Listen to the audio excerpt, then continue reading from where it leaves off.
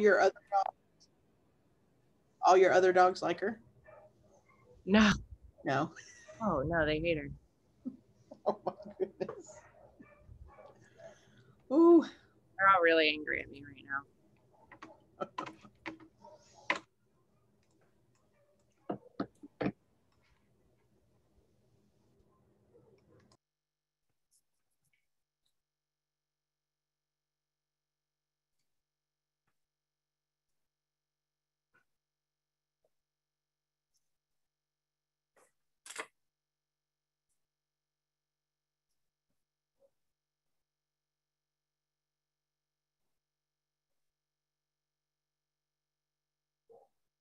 Okay, so um, since we're calling this group therapy Friday, um, this call, uh, the question of the day is if you were anywhere but here, um, if you were like anywhere you wanted to be in the world right now, um, not on a Zoom call, where would you be? Costa Rica. And you just got back from there, didn't you? Kristen? I did, yes. I was there for two weeks. It was really nice. I went to the part where no one goes, so there were no people. It would either be Costa Rica or wherever Mary is or wherever Mike Bricker is. Those are the three places I want to be. I mean, you're in Jurassic Park, apparently, Mary. So. Oh.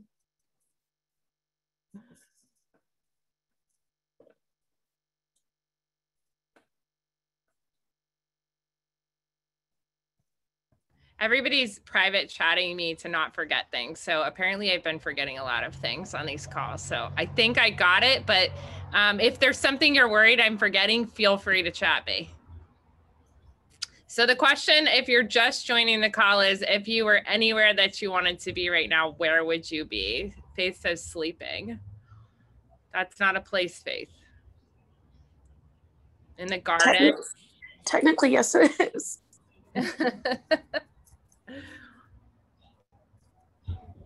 uh beach. I'm gonna i'm gonna say i'm gonna say i'm gonna do a simple one and just say where's the place we had the conference? Fort lauderdale. That was a nice conference. Does anybody remember that one?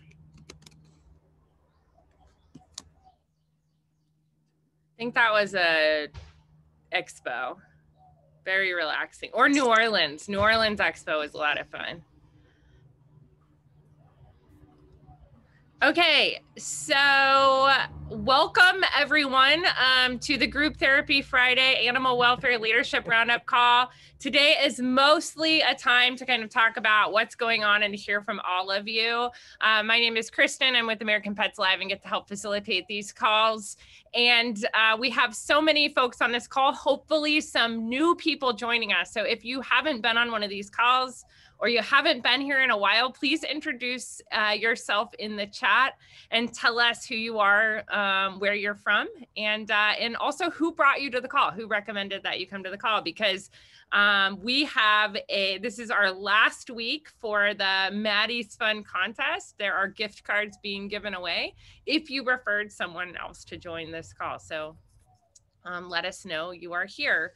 Um, before we get started into our agenda today, I am going to turn it over to um, Mary Smith from Maddie's Fund. Good morning, everybody. As you can see, I am fascinated by dinosaurs. And while I've never outgrown that obsession, it seems to me to mean more to me the older I get. These guys remind me that it's really easy to become extinct, even when you're at the top of the food chain. And that goes for all of us in animal welfare. One of the things that we've learned from the pandemic is the need to change. And sometimes those changes have happened on a daily basis. And this past year in animal welfare, we've really been taking a deep dive into our own prejudices, judgments, and biases that have kept us stuck in the past. But the association is taking steps to change that with an historic, first of its kind survey launched by the Diversity, Equity, and Inclusion Committee. So here's what we need you to do. By end of day on June 23rd, take the survey. Allison will put a link in the chat file and you can go to the association's homepage to access the survey. We need to hear from everyone working in animal welfare, from the frontline folks to the animal control officers, to your fundraising team, to your board, to your adoption counselors and managers, everyone. I took it. The questions are really going to make you think. But for the first time, it's an opportunity to write down those things that maybe you've only felt. The survey is designed to be thought provoking, but it's going to help chart a new path for us. So, don't you want to be part of that? Otherwise, we're going to end up like the decals on my wall. And who wants that? So, take the survey. Thank you.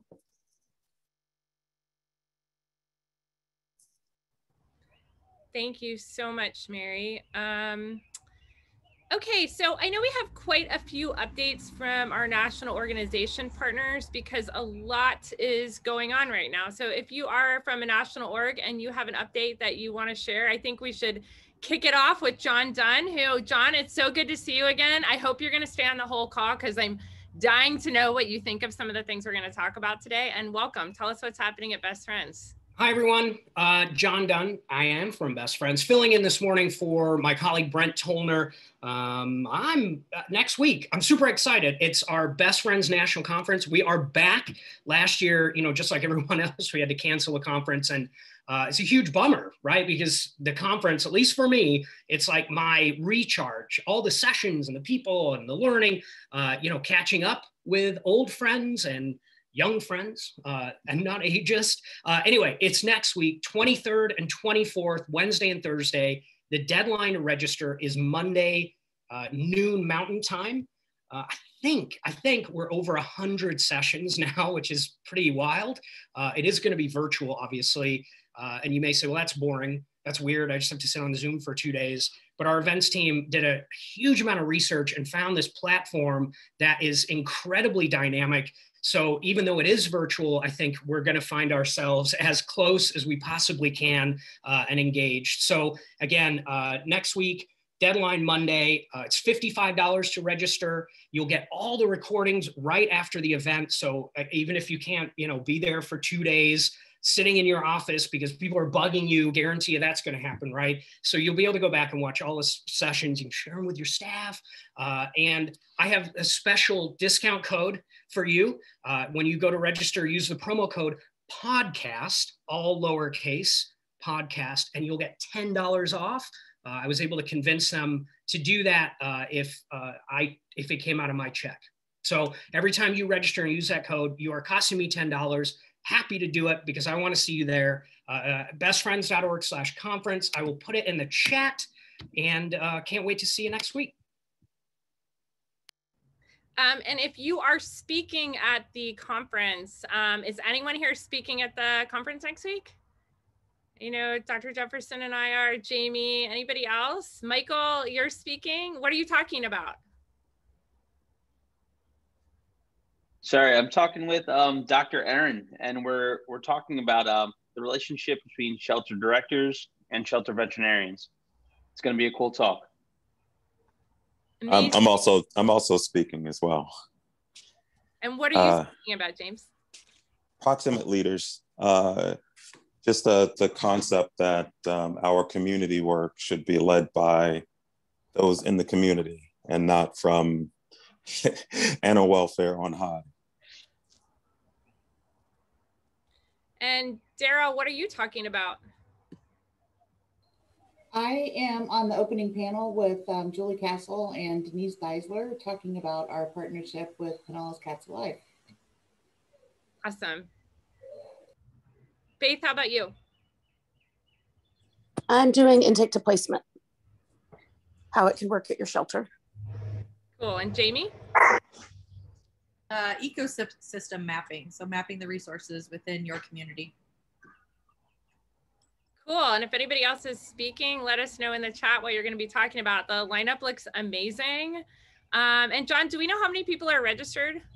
Uh, I over 2,000. I know that. Uh, so easily the biggest best friends conference we've ever had. And I think again, it just speaks to you know the pros and cons of being virtual where we can uh, in this case, it's much more accessible, I think, in terms of the registration fee uh, and, and without the travel and all the other things. But like I said, I think it is really important to point out that uh, it is going to be very dynamic. You're going to be able to chat with speakers, I think, in a much more organized way and for longer than you would at the regular conference. You know how we like like all bum rush the stage after you know somebody speaks we're not going to do that. We're going to have very organized chat rooms and you're going to have a lot of time during and after to be able to connect with the speakers. So uh, yeah i think it's going to be i think it's going to be a good one in its own way. Not the real thing and the real thing better be back next year but uh, you don't want to sleep on this one.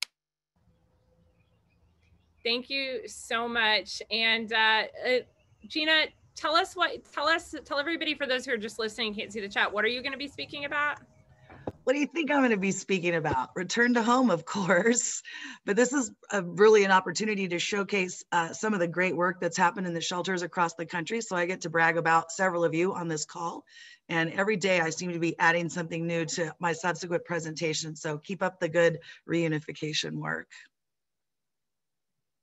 Thanks, Gina. I hope we hear from you a little later. Uh, we about 60% of animals entering shelters are coming in as lost and stray, so um, that presentation is going to be really important. Um, okay, so welcome back, Esteban. I see you're back with us. We have missed you. Um, happy to have you here today. And what other national organizations are on the call that would like to um, announce anything going on that the group needs to hear?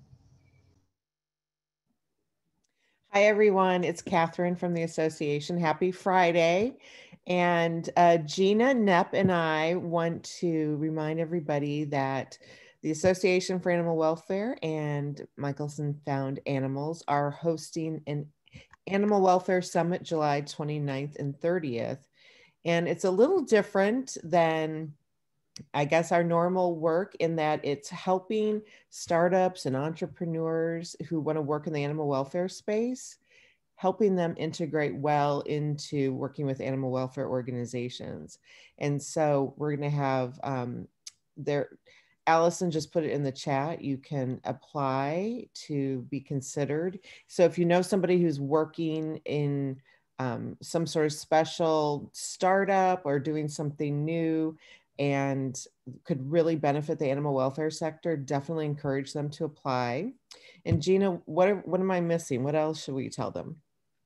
I don't know. I just think it's so important for us to pay attention to the pet market um, because we are businesses. And I know that all of you are periodically uh, contacted by a new startup or a business trying to get you to sell whatever it is in your shelters. And this is a great opportunity for those startups to learn from real real um, entrepreneurial business folks, not so much the animal side of the house, but product.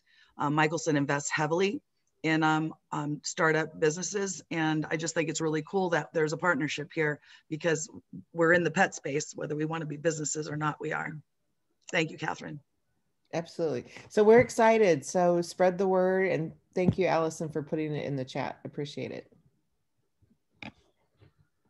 And this is Valerie. Um, I work with Catherine, and um, we would like to announce that we are going to be having a face-to-face conference this November in New Orleans. We hope to see you there. So please save the date, November 17th to 19th, which does back up against the weekend. So those of you who want to get out, what's better than a weekend in New Orleans? So stay tuned. We'll have registration opening in early September. That is great news. Wow. Um, Catherine, you also, I saw you also, y'all are starting an LGBTQIA um, like affinity group. Is that right? Did I see that? Yes, we are. We're uh, really, really excited to be able to do this in the animal welfare sector. And um, what we're hoping to accomplish on July 14th, I believe, um, and we're trying to make it accessible to everybody across different time zones. So it's going to be at eight o'clock Eastern time, and then it will be five o'clock on uh, Pacific time.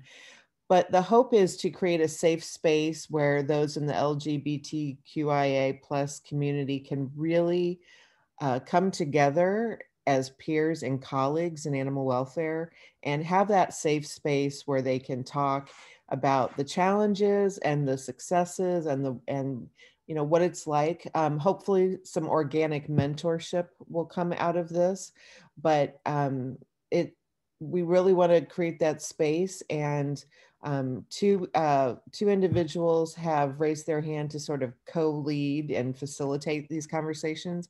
And it's um, Michelle Quigley, who's the Chief Operating Officer from Humane Society of Vero Beach in Florida, and Bo Archer, who um, many of you know is with uh, Humane Rescue Alliance in Washington, D.C. And so they're going to be leading and facilitating that group. So as soon as we get a little bit more information to get people registered who want to participate, we will get that to you.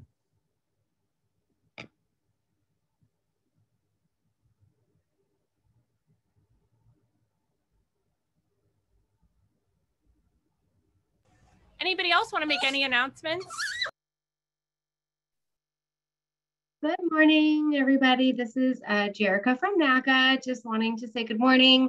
Um, I'm presenting on Mondays, Maddie's National Call, um, and have some exciting things to share for um, NACA and some upcoming uh, pretty cool things. So hopefully I'll see you on Monday morning and wishing you all a wonderful weekend. Hey guys, it's Chelsea from Petco Love. Um, big announcement, our largest and most anticipated grant cycle of the year, the Animal Welfare Organization grant cycle opens on July 1st. We also have open right now a grant cycle for Unsung Hero. So if Rebecca is on this call, her organization has won it in the past. So we know there are some unsung heroes in all of your organizations and we wanna hear their stories. So again, 7-1 for the Animal Welfare Organization grant cycle. It's open 7-1 to 831 and Unsung Hero is open now. And this is Sharon from Maddie's Fund. Just want to let everybody know that we've got uh, uh, the Maddie's Pet Forum is open. I don't know if everyone has an account on Maddie's Pet Forum, uh, but there's a lot of great conversations that are happening, and we're hoping that any uh, great stuff that happens on this call that you'll all continue the conversation um, on the forum as well.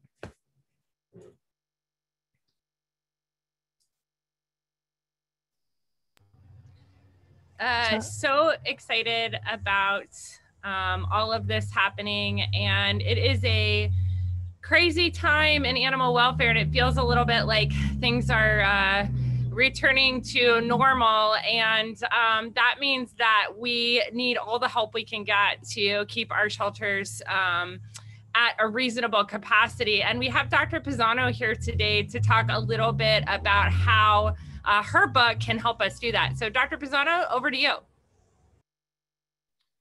I didn't know you were going to call on me right now, and I put a bunch of peanuts in my mouth. So, let me just finish chewing. peanuts. Okay. Um, hi, everybody. Let's see. I want to share my screen, and I have a, um, a quick presentation that I would like to um, present to you. And now you see my messy desktop. So give me one second.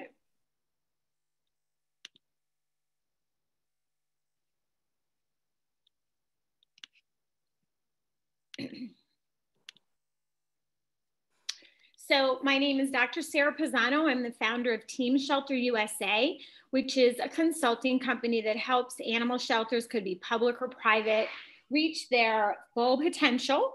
And I'm also over the University of Florida Assessment and Mentorship Program and Million Cat Challenge, part of the Million Cat Challenge team. And just for people who, um, especially those of you in open admission and public shelters, I always like to share the part of my history um, about open admission shelters. And when I graduated from vet school in 1994, if you said I was going to work in an open admission shelter or be a public shelter director, I would have thought you were crazy. Um, but after I worked at North Shore Animal League, which is a very well funded animal welfare organization, I ended up in open admission shelters knowing that that's actually where I was needed the most. And that was a very, very difficult transition for me and a decision to say, this is where I can make a difference. And I ended up being a public shelter director. So that's really helped me um, help other shelters um, because on every single assessment, I can say to the public shelter director, I get it. I understand what you're facing. And that's been incredibly helpful doing assessments. So the core recommendations are, are guidelines from the Association of Shelter Veterinarians, the Million Cat Challenge initiatives. I'm the biggest fear-free fan. And of course, um, the HASS model is the same model that we've been teaching, right? Keeping animals out of shelters and all of that. Um, that culminated after my work doing um, assessments with the playbook because what I found was every single shelter I visited, wherever it was in the United States, whatever size organization it was, I was writing the same recommendations. It could be Dallas, Texas, and talking to the municipal leaders there, or going to a tiny county in Kentucky. I was having the same exact conversations with them. So the challenges that we all face in animal welfare are empirically the same. Of course, there's different levels, right? Um, and scales of challenges, but empirically, the good news is that the solutions are the same. And so, gosh, if I had a dime for every time somebody said one of these things to me, um, I'd be retired. I would be in the Cayman Islands right now, not on this call. But um, you don't understand. We're different because dot, dot, dot. So, you know, our commissioners don't care about animals. And guess what? I don't care that your commissioners don't care about animals. I'm not talking to them about animals. I'm talking to them about operating their municipality in a responsible way and eliminating waste and stopping complaints. And they're like, what? Um, we don't have the money. What we've proven is money is number two. Our perspective, program design, and philosophies around how we operate our shelters and community programs is number one. Money is number two. We don't have the shelter space to do what you're saying, but in fact, we know, as we now know, right, versus what we knew 20 years ago, it's not about the space at the shelter being larger, it's about using the space efficiently. Um, same with staff. People, I, I, always say it's not that you don't have enough building, enough staff, or enough money. It's that you have too many animals coming in. So let's see how we can work that more efficiently. And then one of my favorites are ordinances won't allow it, and and people seem to think like. I'm asking them to go to the moon when we're talking about ordinance revisions, but remember that's tied into number one because they've not been able to be um, been influenced it be influencing their elected officials. But when we talk to elected officials about the facts and about how we can help them look better do better save money decrease complaints those revisions happen very quickly and that includes municipal attorneys and what i want you all to understand is we are the experts in animal welfare the municipal attorneys don't know the data you know they don't know the system like you know it. So it's our job to educate them. And then it becomes super easy to revise ordinances. State laws are a little bit um, obviously harder to change, but what I found over and over again is that the state laws are being misinterpreted by the municipal attorneys or by the shelter. And so I always make sure I know those state laws back and forth because and because a shelter might say, we can't do that because of our state law and that just happened to me recently in a shelter in Mississippi. The municipal attorney said, no, that's a state law that there's a five day stray hold, and it wasn't. Um, so all those years, the stray hold for dogs and cats was longer than it needed to be. Um, you know, we have a lot of cats here. We have, I always have shelters say that, you know, there's a lot of cats here, a lot of community cats. I'm like, I don't know any community that doesn't have a lot of cats outside. Um, the pit bulls, we only have pit bulls. Um, so pit bulls are, there's a lot of pit bulls in shelters because people love pit bulls and it's our job to advocate for them, right? But people I think um, feel that they're they're different when uh, it's important that we all share those same challenges. So at this point in time, I've been in 21 states in all different size shelters um, and all the blue states, um, over a hundred community and shelter assessments. And these are the trends that we want to see. So that green is live outcome, the blue is euthanasia, and that's representing the outcome for one year. And so our goal is reducing intake, meaning I'm going to use the shelter strategically um, only for animals that absolutely need help. For a private shelter, you might increase intake because you've got that capacity for care and your length of stay and plan of action out to live outcome is super quick. So you might want to be increasing intake. But this is for shelters, especially euthanizing for space, which is still happening in a lot of shelters today. So we want to say, how can we decrease intake of those animals that could potentially have other alternatives? So in Waco, we were there the end of, of 2012 and immediately intake and euthanasia decreased. And it's really exciting to look at community like Waco, 30% poverty rate at that time, but it's an important lesson for other communities to say, wow, we have a high poverty rate too. And if they could do it, we could do it. And that's what's happened a lot with um, with that particular Waco story.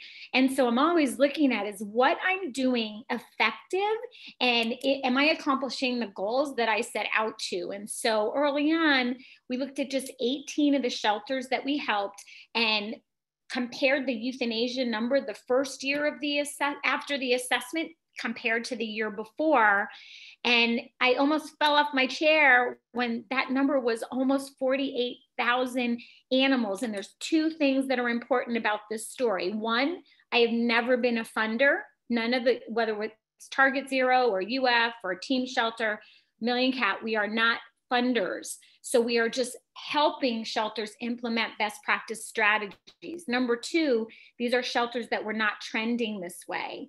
And so when I saw these numbers, y'all, I was I was humbled, but so heartbroken that I thought, like everybody else, oh my gosh, we need millions of more dollars in my one shelter to accomplish this.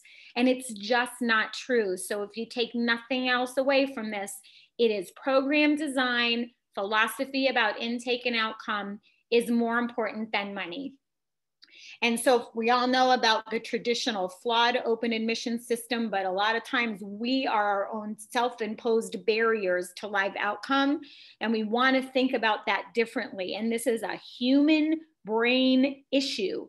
This crosses, this is just human. It has nothing to do with animal welfare, but we are a product of our own microcosms. And most importantly, for um, releasing barriers for our live outcome efforts is releasing our fears because our brains automatically trigger trigger to the negative and amplify the negative right? So um, we know that when we keep things in perspective things change. And a perfect example is people being so afraid to adopt because you might be adapting to fighters or um, you know all kinds of bad people if we don't have a really rigorous adoption system right? And we know that that is the man- very very scant percentage of people coming to adopt and that's a that's a trust issue. The second thing to keep in mind is we have felt for so long like i know i did we're victims. Like there's nothing we can do about this. We're just like how are we ever going to get out of this hole? And it turns out we now know there's so much more in our control than out of our control and we've proven that so many times now. And now this is the norm is the admi- managed admission system. So flipping that funnel. And then again, um, what am I doing? What resources do I have? And how am I using them strategically? And so these I consider sort of the pillars responsible public policy, targeted spay neuter, managed admission, of course, safety net, direct home to home placement, that's my previous foster dog. I'm not a foster failure. That's my successful adoption during the COVID pandemic. That's Potato Pizano, also known as the Diva. Um, community cat programs, hands down, have created the most impactful change and transformation for shelters because once we stop clogging our shelters with cats that should never even enter the shelter everything changes and that's been the most important springboard to change. And then certainly all the rest of you know prevention with good samaritan foster care obviously open adoptions. This to me is one of the top issues in um, in private adoption agencies is the open adoption issue and that's the level of trust that that we need to address um, and just a couple of more quick slides just showing the impact of community cat programs. So 2014, when this is Metro Nashville and the result of Pet Communities um, Spay Neuter Clinic. Remember, the blue is euthanasia, the green is live outcome. Holy cow, just dramatic, amazing progress. And these are, again, the trends that we want to see, and that when these programs are implemented correctly within the current resources, that the shelter has, this is what can happen, right? Over and over, it's proven. Um, in Greenville, what Shelly did the first year um, when they implemented, I don't know if Shelly's on the call, but when they implemented community cat programs that first year, she realized that 2,000 less cats went into the shelter. Into, I'm sorry, euthanasia was decreased by 2,000 as well, and it was budget neutral. And that's the message for our municipal leaders, right? That we don't need millions of more dollars. And so the playbook is just here's like the foundational stuff you should be thinking about. Um, it's gotten really good reviews. The paperback came out in uh, about two years ago. Virox, I, I approached Virox and the Joanie Bernard Foundation, and they've sponsored the playbook. But the reason I'm so happy to have your attention today is to tell you that the ebook is now available. I know Allison was putting it in the chat. It's on Amazon and also available on Apple Books. And the hard copy is available on Amazon as well. Limited time offer if you order a hard copy. I am currently shipping and handling because my company went out of business. The printer went out of business um, because of COVID. So uh, until that transitions, you can get a signed copy. Um, and this is my website, Team Shelter USA. I also am faithfully posting on Playbook um, on Facebook every two months. Um, and I just wanted to say thank you so much for your time and attention. Thanks for listening, and thank you to HASS. Uh, wow. Thank you so much, Dr. Pizano. Does anybody have any questions? Um, after that amazing presentation. So much information there. Um, if you have a question, now's the time.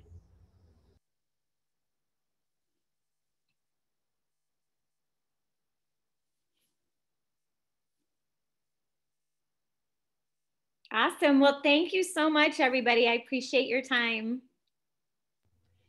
Thank you so much, Dr. Pizano. We're so glad to work with Team Shelter USA. Um, I want to turn it over to Amy Nichols now, um, who has a, an announcement to make, and then we're going to get on to our, our conversation of the day. So Amy, go ahead. Great, thank you, Kristen. Um, so today I'm very excited to share two big announcements from Shelter Animals Count. Um, so first is that we have hired a new executive director. We're all very excited about. Uh, Stephanie Filer will be joining us as the new ED for Shelter Animals Count. If you're not familiar with Stephanie, she spent the last 10 plus years at the Animal Rescue League of Iowa, leading uh, development, communications, fundraising, all kinds of things. So we are thrilled that she's going to be joining us here shortly. I'm sure you'll start seeing her on calls and uh, really getting engaged in the national animal welfare scene. And then secondly, we also just signed a partnership with Kinship to be our technology partner. So huge, huge advancement for shelter animals count. There are so many things we've been wanting to do to improve the database, to create APIs for automatic downloads from shelter software, which we're super excited about. So two big things for shelter animals count. Um, thank you all for your continued support of it and contributing your data. Thank you so much, Amy. Um, now I want to welcome um, Lisa LaFontaine, who is uh, both the uh, CEO and president of um, Humane Rescue Alliance in Washington, D.C., and a founding uh, Human Animal Support Services board member who's been so instrumental in leading our project um, and is here today to talk um, to help lead us in a conversation about a topic that apparently has been a hot topic for a little while. So, Lisa, thank you so much for being here, and over to you.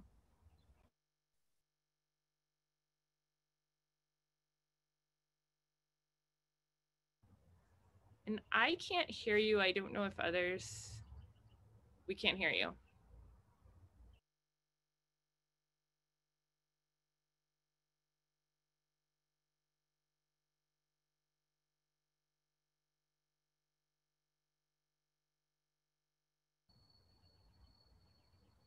We can see you.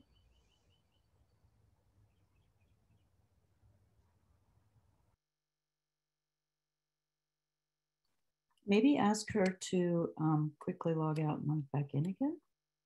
Yeah, if you want to leave and come back. Zoom has been a little bit funny. Has anybody else had weird Zoom issues lately?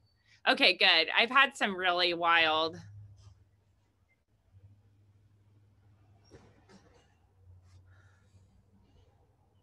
Because her mic is on. There we go.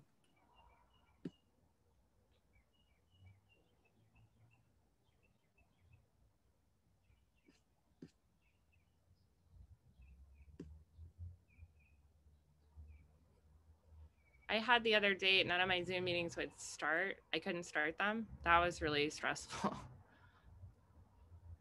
I, I don't know. When Catherine said a conference in November in New Orleans, I was like, I am going to go buy my ticket today. Were any of you like, yes, let's go?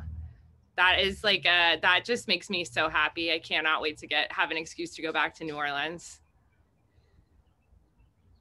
Well, I think everybody should plan to be there. I think we all have been apart for so long, and I miss all of my friends and colleagues. And I made new friends and colleagues during COVID. So I can't wait to hug them and meet them in person. So, yes, everybody mm. needs to plan to be there. It's New Orleans, it's going to be awesome.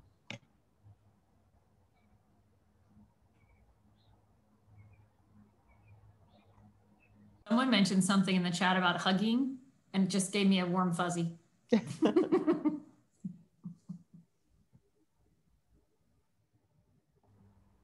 oh, um, yes, Allison, tell us what's happening next week with our uh, holiday hiatus since we have a little bit break while we wait for uh, Lisa to be able to.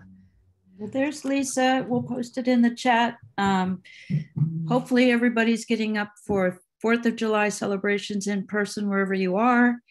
Uh, just uh, we will make a note that the Friday before July 2nd and the Monday of the actual holiday, we will not be having uh, these meetings. So we'll post that as many places as we can.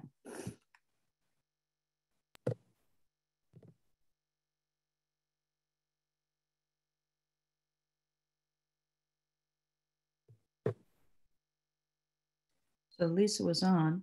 Okay, can you hear me now? We hear you. Yay. Okay. Fantastic. Good morning, everybody. Um, I was just saying, I just came back from the St. Hubert's neonatal kitten unit. It's a NICU. If ever you're on the East Coast, I would strongly encourage you to go there. It's the happiest place in the world. I've decided it's what I want to do after I'm CEO. Um, but what we did is we, because so many animals were in foster care, we converted one of our um, adoption centers into a neonatal kitten ward, which is full of incubators and kittens being brought back from the brink of death. And I'm just so inspired and on a high right now. And um, if any of you want to start a NICU, um, send me a message, put your name in the chat. I'll put you in touch with our um, rock star, Sam Friedman, who um, can bring a kitten back from 99.9% being dead um, to robust life. So had to put a plug in for that work. I'm so jazzed up. Um, Dr. P, that was amazing. And we are so in sync in what we're talking about this morning because I want to talk a little bit about perspective. And I want to tell a story. I told Kristen this story of um, our leadership meeting last week. Um, and we'll go back to the story at the end. But people have been talking about how we're just overwhelmed with intake and we're not having enough time to do adoptions well. And we have so many animals and we don't have enough staff. And so I, I read them a memo that um, was on my computer, and I just want to read it to you. And it's called Save Our Summer. And it's just about what happens, what's happening to us right now, and how we feel. And it's uh, here it is. Sorry, this memo has been so long in the making. We sat down and drew up a population plan the day after we heard from you in our staff meeting. And this is our first chance to get it off to you. We've all talked about summer's impact on us. And some of the things we've acknowledged are that any meeting we have has grown longer and harder, that talking about animals feels like a struggle, that it feels like we didn't do any euthanasia and now we're doing euthanasia all the time, that every summer is like this, but this is harder, that we don't want to deal with each other, we don't want to deal with customers, and the feeling of all the progress we made in the last year has now leveled off. And the memo goes on for three pages, talking about just what it's feeling like um, to be in a busy and overwhelmed shelter. And I just want to share my screen for a minute. And I want you to look at the date of the memo. It's the first memo I ever got in animal welfare. It was, uh, I got it when I was a volunteer at the Monadnock Humane Society. It was written in July of 1995. Um, and I think perspective is important because we know everything is different than it was 26 years ago. And um, yet we all feel that way right now. And um, I am hearing wherever I go, whether it's my own organizations or talking to other organizations, that they are living in the world of this memo. And it's really gotten me thinking that I think the most important thing about problems is you have to solve for the right problem, right? You can't you can't solve the problem people are bringing to you. You have to make sure to ask the questions to, to solve for the right problem. And um, you know what we know is if you actually look at numbers and data, this year is better than before the pandemic. Our intake is down, our euthanasia is down, animals are being cared for in foster care. Um, we have literally a thousand more foster families. And I could just go on and on of every key metric and say why it's so profoundly different in 2021 than it was in 2019. And um, and I've been thinking about what is really going on because I, I don't know what all of your numbers are. I'm sure that, you know, not everybody's numbers are rosy, but but they're probably better than people think. And I think it's just really important to look at numbers at times like this when we feel overwhelmed. And, you know, what's,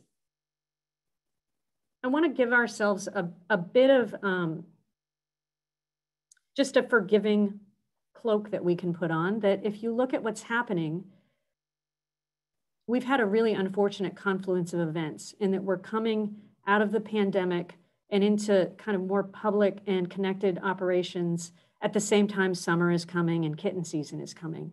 And so we have this unique moment where those two things are colliding. And I think it's making it just feel a lot worse than it really is because we've had the most bizarre um, and painful year in many of our lives. Um, we have been unable, if you're an extrovert, you're probably so depressed right now. If you're an introvert, you're probably even done with being an introvert. Um, we don't have our cope, normal coping me mechanisms. Like Gina said, we can't wait to hug each other. We haven't hugged each other.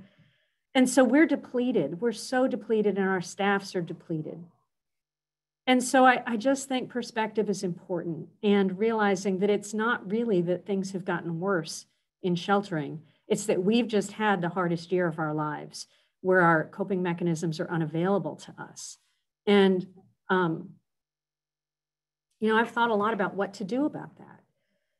And, and I think certainly putting the real facts in front of people is part of it. Um, but I was talking to one of our adoption counselors yesterday and, and they said, yeah, but the facts don't really help us. Um, so then, okay, what do you do then if the facts don't help? And and so I think part of it is just really encouraging people to do the self-care, looking for, we're good as an industry at, at, or we're getting better as an industry at dealing with compassion fatigue, but most of the time we ask people to deal with it individually. You know, we ask them to go to a course or, or, you know, take a walk or do something on their own. And I just think as organizations, we have to look at organizational compassion fatigue, which is really different than individual compassion fatigue. And, um, and so how, you know, we're looking at little things like doing mindfulness exercises at the beginning of every single meeting, making sure that people get on walks, making sure that people pay attention to each other. Um, but I, I think maybe one of the most important things we can do, and this is happening in social justice, it's happening across the world, is help people find their voice and keep their voice because I think this this comes from a place of powerlessness and just looking for opportunities to help people find their voice.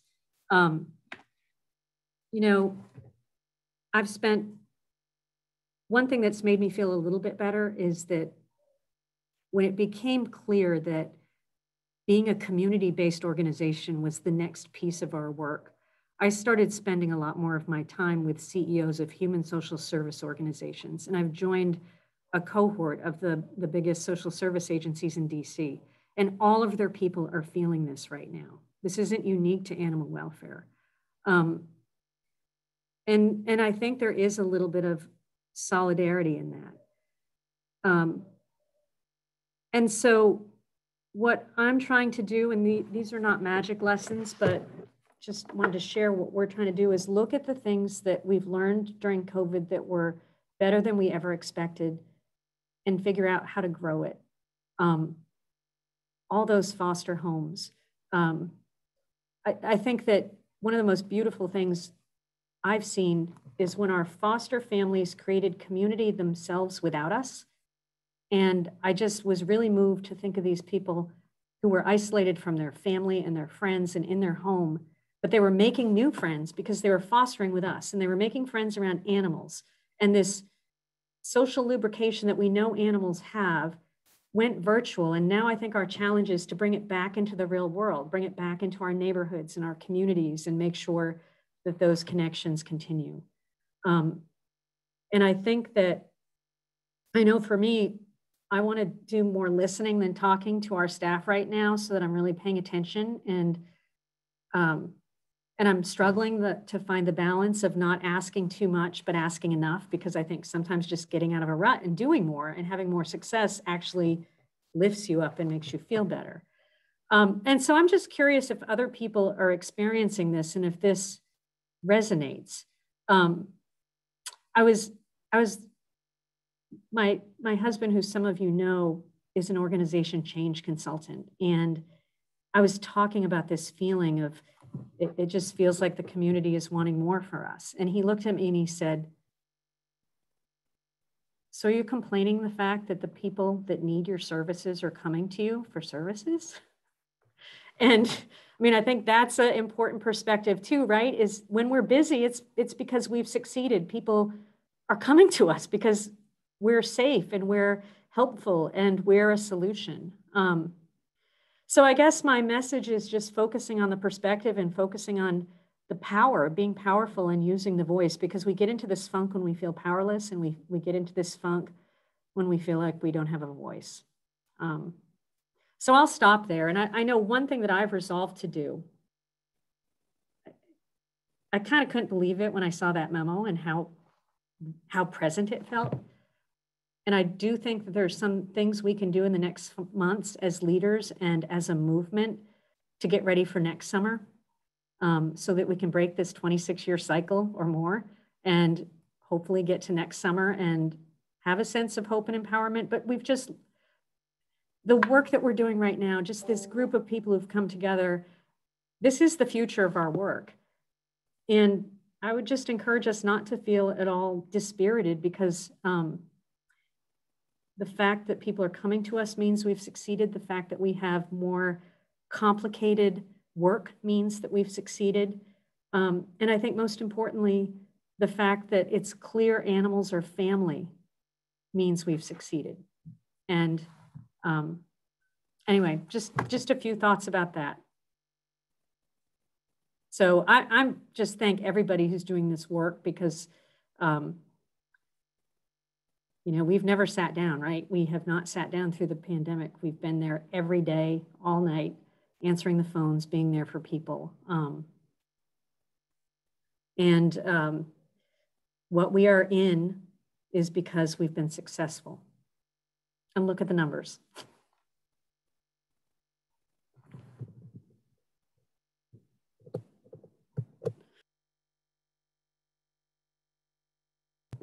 I have so much respect for the people on this call, so thank you uh, for listening.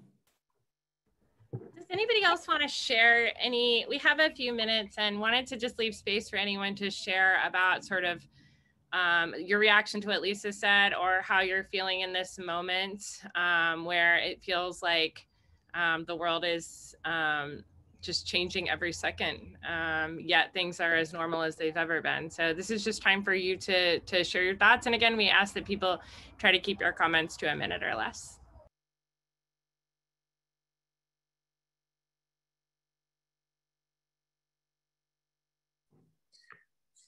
I Hi. have a, li- I'm sorry.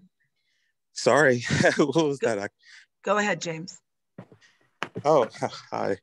I, I just, I have to take a deep breath because it's so interesting.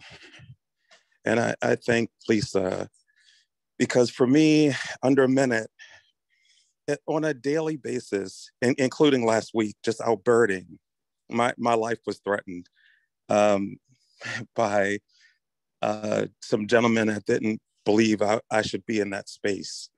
And I think tomorrow's Juneteenth, and I think it's worth noting and pondering and giving some thought to the people of color that are doing this work, uh, like I am, like Shafonda Davis and others, um, my team, Johnny Johnson, we're doing this work and feel those exact same feelings about animals and our own personal lives at the same time. I, I mean, I, I can hardly go to the park and literally go birding, binoculars, camera, and uh, not sort of feel like I'm, fr- I'm, I'm infringing upon uh, someone else who believes that space is theirs. So there is no rest for the weary, and there are there is hardly any rest for people of color. And in terms of giving voice, I I'm really excited. Um, hopefully, um, Jen can drop this article in. Uh, Best Friends approached us about writing, well, approached me in particular, but I say us because I think it, it really is the team, um, approached us about writing a Juneteenth article. And I asked, rather than write the article, me, write the article, I, I, I really wanted to hear from an assortment um, people of color that are working in animal welfare space. And, and friends have they wrote the article, article 99% of the article are voices of color that often go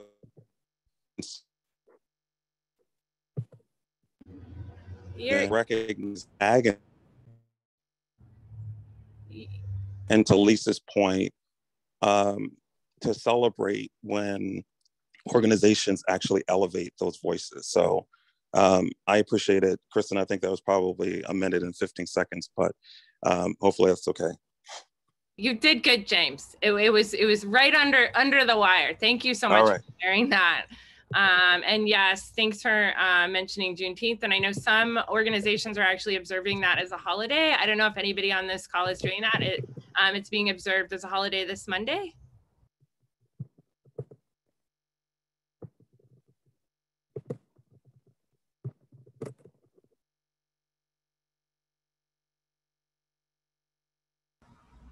Kristen, I had a thought. James, thank you for your, your words. Uh, they're important. Um, go back to 1995, we weren't as connected as we are today. We've had hundreds and hundreds of calls with you know, a multitude of people on it. I have more colleagues and friends in this industry now than ever before. In 1995, we weren't reckoning with the fact that we were not um, an inclusive community, that we were harming people, uh, not just people of color, but poor people and old people. And unfortunately, some of that is still occurring, but we weren't having those conversations. So I think it's important to remember that very many, many things are very different from 1995. And unfortunately, some are still the same. But what we have is we have each other and we have, I think, the desire to improve our industry. So I think that's what I want to hold on to.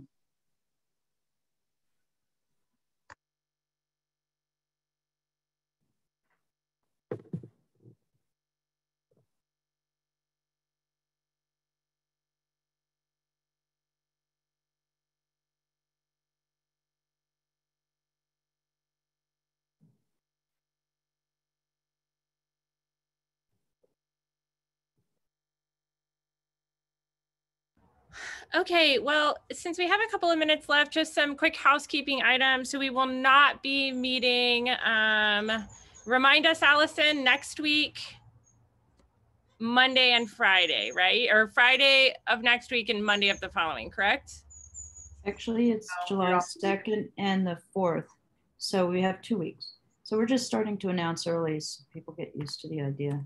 Okay, so um, we will have two weeks off and then we are going to um, be back here with a lineup of speakers and topics. Um, circling back to some of the topics that we had started, we're going to have Justin Marceau back on the call um, and this summer, and as well as a whole host of other speakers on topics. Um, you have given us the topics you think are most important to be talking about, uh, and we did that. We spent a whole meeting doing that, and we have another 60 to get through.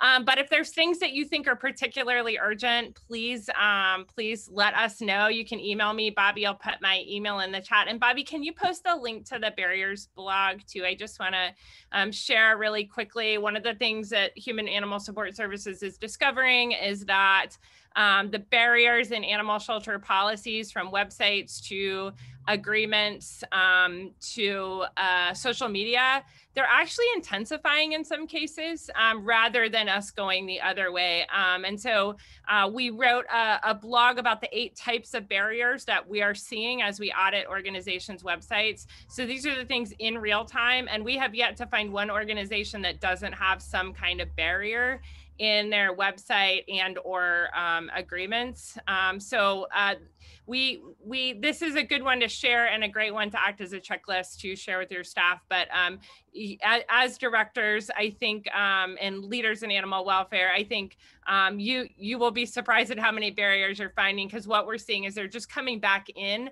Um, leaders are saying no more barriers, get rid of them, but um, unbeknownst to them, they're creeping back in as the summer gets busy, new staff come on board. So uh, if you haven't done a recent audit, now's the time, and we hope this blog will help. So um, thanks everyone. This has been an amazing now year and a half. Um, we've sustained these calls and uh, our, uh, our, our little, we've had more than 2,500 people on these calls. Um, so uh, please bring more folks uh, to the call as we come back after our little break and see you all soon. Be well.